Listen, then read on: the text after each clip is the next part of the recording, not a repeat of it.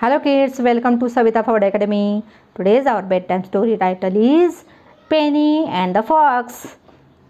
Andy and Annie had a little sweet pig named Penny. Whenever they went out to play, they took it with them.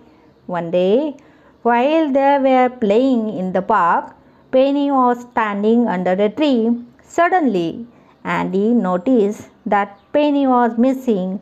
They looked all around the park but could not see no sign of Penny. They walked towards the windmill. Suddenly, Andy saw a fox in the hedges near the windmill. He said a silent prayer. and he heard a familiar grunt. She looked back and saw Penny standing near the fence of the windmill. She ran to him. Penny was starting at the hedges. It was scared of the fox, and he took Penny in his arms and patted it with love and, and to make it feel safe.